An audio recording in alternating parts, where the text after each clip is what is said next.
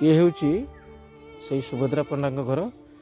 ତାଙ୍କ ସାଙ୍ଗରେ ତାଙ୍କ ମା ଅଛନ୍ତି ତାଙ୍କ ବୁଢ଼ୀ ମା ରୁଗୁଣା ମା ଏଇଟା ତାଙ୍କ ଘର। ଆଉ ଇଏ ତାଙ୍କ ଘରର ପରିବେଶ।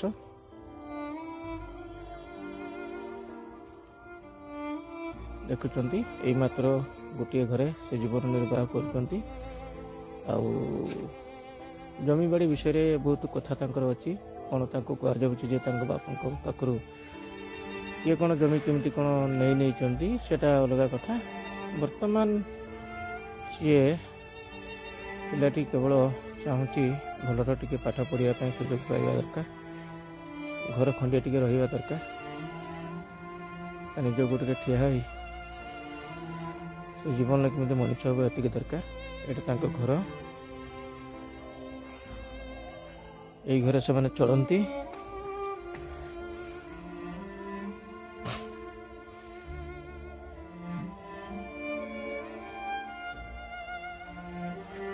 ଏଇଠି ତାଙ୍କ ଘର ଭିତର